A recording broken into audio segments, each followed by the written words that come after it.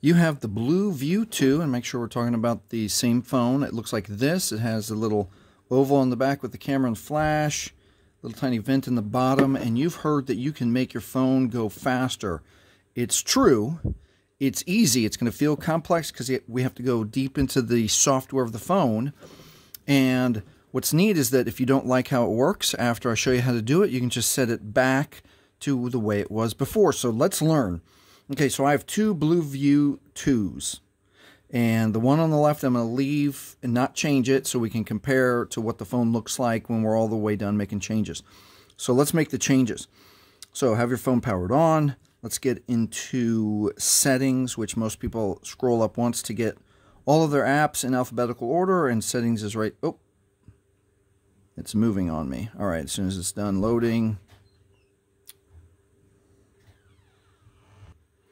All right, now back into back into our apps, touch settings. Inside of settings, we're going to scroll. Actually, let me turn off. Let me turn off the internet. All right. All right, now let's get into settings. Touch settings.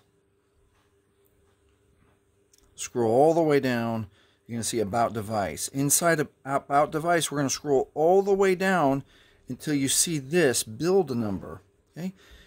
At the build number, all we're going to do is touch the word build number or this block seven times. One, two, three, four. That message should come up. Five, six, seven. You are now a developer. You should see that message. Okay. Now we're going to back out one time we should be back inside of settings and now right above about device touch system. Okay, inside system go to advanced. And now you should see developer options right here. Touch developer options and the developer options should automatically be toggled on. Okay now inside of developer options be careful what we touch.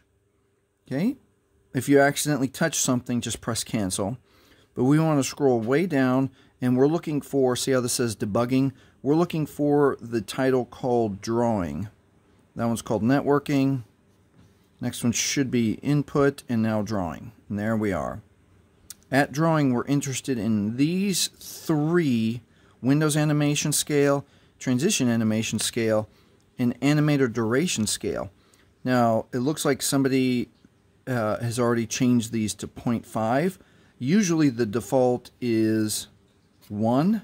Let's see on this one if it's 1. Stand by. Alright, I brought it up in this window. The animation scale is 1 by default. So this is a used phone, so maybe somebody changed the things. So let me show you how to change them. Okay, it should show up as 1x on yours. So if we touch Windows Animation Scale, it's going to give us a series of options the bigger the number, the slower your phone runs, or the slower the animations run. I like some, so since the default is 1, a lot of places you read say, hey, just cut it in half, put it on 0.5. I actually like my phone to run with no animation, so I turn them off. Again, if you you can try 0.5 on yours, and if you want to see what uh, off is like, and then you don't like how it runs off, let's do the third one then you can just come back in to the developer options and change it. So you can see here, let's double check Windows animation scales off, off, and off. And these are all one. So let's go back to home. And now watch how different the phone runs. Now all I'm going to do is bring up the phone, actually making a phone call. Now I want you to pay special attention to what it looks like when I touch the icon. Kind of saw that software open this way. Now watch it I think this one slides down to close. You saw that slides down to close. Now watch what happens on the one that we turn the animation off. It just turns right on. And then when we turn it when we back out of it, it turns right off. Now let's do it side by side. I'll try to touch them at the exact same time. And then I'll try to close them at the exact same time. Your eyes saw what my eyes saw. This one just blinks right off. Now let's bring up Messenger. Faster, faster. All right, I don't.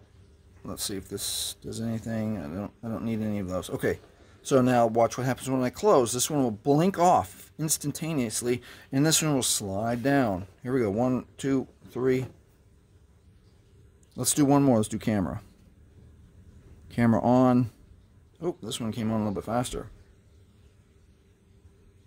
After resetting the phones, it, it might need a second. All right, let's close them and see what closing them look like. Blinked right off. This one took a minute to slide down. Let's do let's do camera one more time now that they both had a chance to turn that software on. And then and then close them. Seemed like this one was a little bit faster on the camera. But you, you can experiment with the different apps, especially if you, you're making phone calls, you're making videos, you're swapping apps. When, the, when you make those, turn those animations off, your phone will feel crisper, it'll feel snappier, it will feel faster, and your phone will be that, uh, you know, a degree more enjoyable to use because you've made it faster. And again, if you don't like it, just switch it back. All right, that's the lesson on making your BLU View 2 faster. If this has helped you, please like, please subscribe. Thanks for watching. Hey, and if you need help uh, changing your SIM chip or your SD card, watch this video next.